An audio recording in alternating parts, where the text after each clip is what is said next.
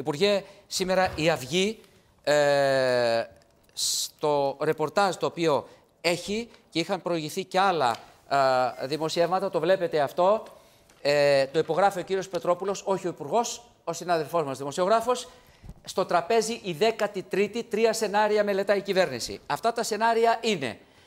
η βελτίωση των συντάξεων χειριάς που πρέπει να γίνει οπωσδήποτε, ε, η ε, βοήθεια μέσω 13ης επιδόματος για αυτούς που χάσανε ΕΚΑΣ και ένα μέρος της σύνταξης. Δεν ξέρουμε αν θα δοθεί σε όλους 13η, αλλά οπωσδήποτε ένα μέρος του πλεονάσματος λέει η κυβέρνηση, λένε οι βουλευτές, υπουργός είστε κάτι θα έχει πάρει το αυτή σας. Τι ακριβώς συμβαίνει;